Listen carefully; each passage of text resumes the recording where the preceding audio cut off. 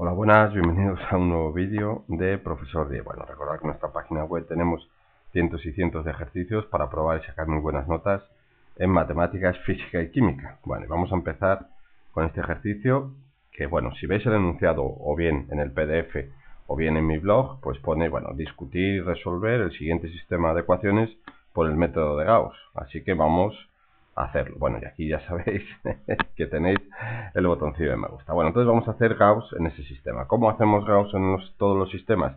Pues lo primero que tenemos que hacer es cero, todos ceros, debajo de la diagonal principal. ¿Y cuál es la diagonal principal? Bueno, esta cosa tan bonita eh, que estoy yo remarcando aquí. ¿Qué tenemos que hacer? Pues tenemos que seguir un orden, ¿vale? Bueno, lo digo rápido porque ya debe ser el cuarto o quinto ejercicio que hacemos, pues bueno, y, todos, en todos, en todos lo hacemos igual. Es un método sistemático. ¿Vale? Primero haríamos el 0 este aquí. Luego vamos a hacer este 0 de aquí. Y por último, voy a coger el boli rojo mismamente. Vamos a hacer ese 0 de ahí. Venga, pues vamos a ello. Venga. Entonces, empezamos. Primero voy a multiplicar la primera fila por menos 1. Menos 1. Fila 1 más fila 2. Entonces sería menos x más y más z igual a menos 1. Y multiplicamos y sumamos la fila 2. Y ahora sumamos menos x más x0, eh, y más y, 2y, más z menos z no queda nada, y menos 1 más 2, 1. Venga.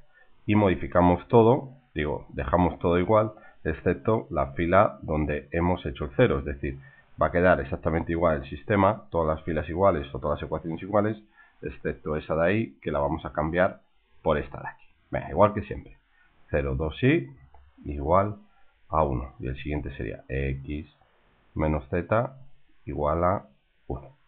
Venga, y lo siguiente. Pues ahora con este de aquí tenemos que hacer 0 aquí, el segundo 0. Entonces vamos a hacer otra vez menos fila 1, ¿sí? Más fila 3, por ejemplo. Entonces quedaría menos x más y más z igual a menos 1. Y abajo quedaría x menos z igual a 1. Sumamos y nos queda menos x más x0 y más nada y z menos z 0 y 0. Venga, y vamos a ello, seguimos. Dejamos todo igual, excepto la fila donde hemos, o la ecuación donde hemos hecho ceros, que sería esta de aquí, que es la tercera en este caso, y igual a 0. Venga, entonces ya hemos hecho los dos primeros ceros. Este 0 de aquí y ese 0 de ahí. Ahora nos queda el último, el tercer y último 0, que es este de aquí. ¿Con quién lo tenemos que hacer? Siempre con el que está arriba. ¿eh? Recordar eso de cogerle el ritmillo a Gauss. ¿vale? Con este de aquí tenemos que hacer 0 ahí. Entonces, ¿qué vamos a hacer? Pues, por ejemplo, yo voy a hacer la fila 2 menos 2, fila 3 mismamente. Venga, pues vayamos a ello. Entonces sería fila 2, que es 2i igual a 1, y luego menos 2i igual a 0. Sumamos y nos queda 0 igual a 1. Venga. Pues a ver qué nos quedará. Entonces, x menos y menos z igual a 1, 2y igual a 1 y 0 igual a 1. Venga, y ahora lo remarcamos. ¿eh? Está bien, nos ponemos un bien y vamos a lo importante. Venga, hemos hecho esto, bueno, a lo mejor un poco rápido, no lo sé, pero bueno, como es el cuarto o el quinto ejercicio que tenemos ahí en el blog o en el PDF con la lista de reproducción no pasa nada. Bueno, yo creo que si habéis hecho todos, ¿eh? esto ya lo habéis sistematizado. Bueno, entonces ahora vamos a lo importante. Nosotros tenemos que discutir, ¿vale? En el vídeo anterior explicamos los tres casos, sistema compatible determinado, que era lo que hemos hecho hasta ahora, y luego decíamos que había dos casos más, sistema incompatible que no tiene solución y sistema compatible indeterminado que tiene infinitas soluciones. Entonces lo primero que tenemos que ver ahora es qué tipo de sistema tenemos. Venga, ¿Estudiaste lo que os dije anteriormente? Sí. ¿Qué tipo de sistema tenemos? Sistema incompatible. Luego esto es un sistema incompatible. A ver si me cojáis. Sí. No tiene solución. Luego, no hace falta resolverlo porque ya está resuelto. ¿eh? El sistema no tiene solución. Recordad que cuando aquí quedaba un cero, todo ceros, aquí queda todo ceros, igual a un número significa que es un sistema incompatible que no tiene solución. Daros cuenta que aquí estoy poniendo que 0 es igual a 1.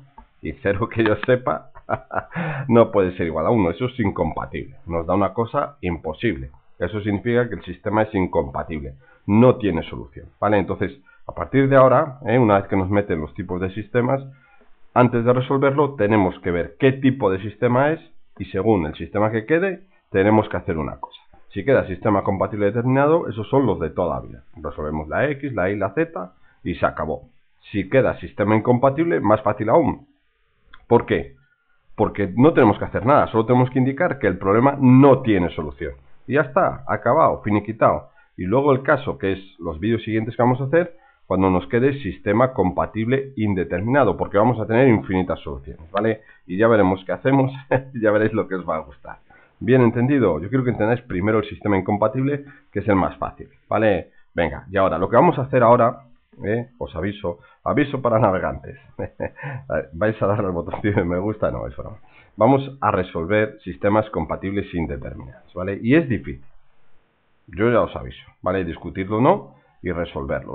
¿Qué significa discutir? Discutir significa decir qué tipo de sistema tenemos y luego resolverlo es calcular su solución. ¿Vale? Bueno, entonces, es difícil. Entonces, si no estáis frescos, ah, llevo aquí media hora viendo a Sergio soltarme el rollo. Pues descansar un ratillo o descansar un día y volver mañana porque va a ser complicado. ¿eh? Entonces quiero que estéis concentradísimos, ¿vale? pues venga, nos vemos en el siguiente vídeo.